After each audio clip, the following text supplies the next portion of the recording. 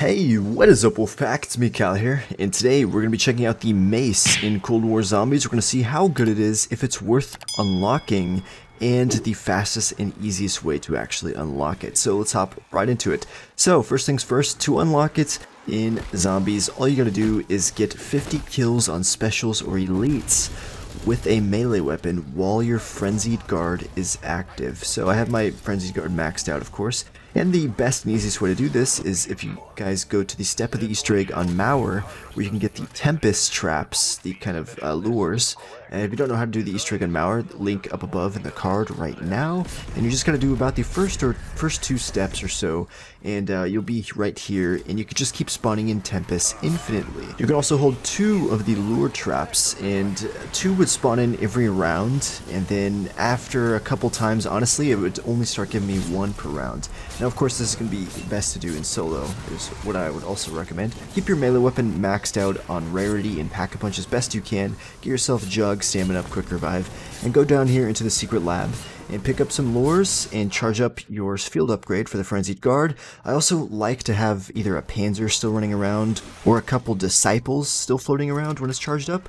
Then I quickly throw down the lures, uh, both of them if I have two of them, and then I pop my Frenzied Guard, go finish off the Panzer, go finish off the Disciples, go kill the Tempest as quick as I can with my melee weapon, and honestly, you can get potentially up to seven kills per activation of your Frenzied Guard. So this is really fast to do. Honestly, I finished it in one match from rounds 15 to about 28. I, I finished it in that amount of time. It was actually pretty easy, which is surprising because they've actually increased difficulty compared to how easy they weapons used to be to unlock but now they're getting a little bit more difficult. And by difficult, I mean just a lot more time consuming. Alright, getting into kind of the statistics of the mace. Of course, it's basically just the knife, but it has a little bit more range than the knife and does the same damage, but is a bit slower swinging than the knife. And we all know speed is what matters the most for melee weapons in zombies.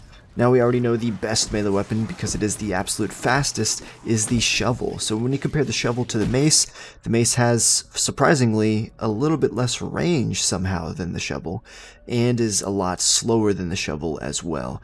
So this is not going to be one of the better melee weapons in the game. I would not recommend going for it. If you don't have a lot of time, you can only pick a couple weapons to unlock. If you want to unlock a melee weapon, go for the shovel. It is absolutely the best. With that said though, the mace is still fun to use, very satisfying, especially just slamming into zombies with the mace. It sounds very brutal, very gory sounding. It sounds, it's very satisfying, let's put it that way.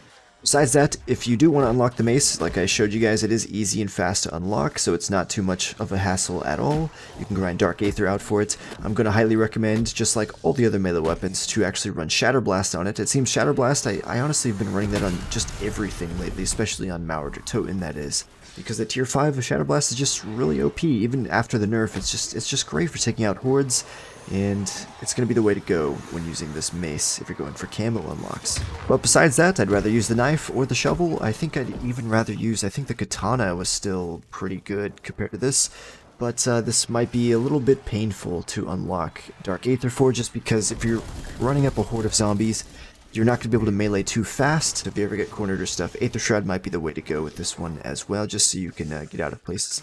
But the strat's going to be just train up zombies and then hit them every once in a while to try to hit trigger that Shatter Blast and destroy the whole board. Besides that, it is just as strong as the knife, so it is great against panzers, great against elites, and mini bosses and elites, stuff like that. Nonetheless, guys, this is my review of the mace. Hope you guys enjoyed and find this useful. I did not check it out in multiplayer because this is mainly a zombies channel, and we only care about really using the mace in zombies. In multiplayer, I assume it's going to be good. It's going to have increased range, so it's worth checking out in multiplayer. But anyways, thank you all for tuning in. If you guys enjoyed, be sure to smash that like button, subscribe for more, and I'll catch you guys next time. Peace out.